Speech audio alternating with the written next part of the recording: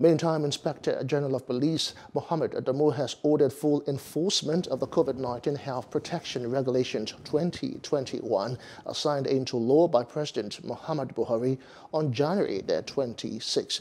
The Force Public Relations Officer Frank Mba disclosed this in a statement.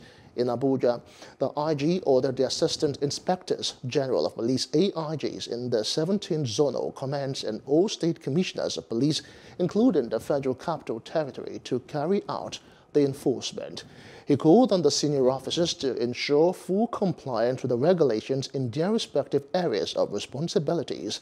He said the regulation mandated the Nigerian police and other agencies of government are mentioned therein to ensure full enforcement in public places, places of worship, workplace, and schools.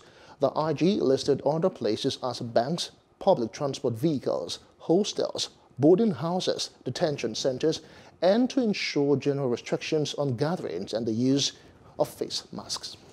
Hello. Hope you enjoyed the news. Please do subscribe to our YouTube channel and don't forget to hit the notification button so you get notified about fresh news updates.